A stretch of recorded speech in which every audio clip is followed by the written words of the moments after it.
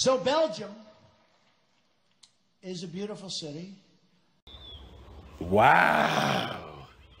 Let's do that again. No, no, no, no, no.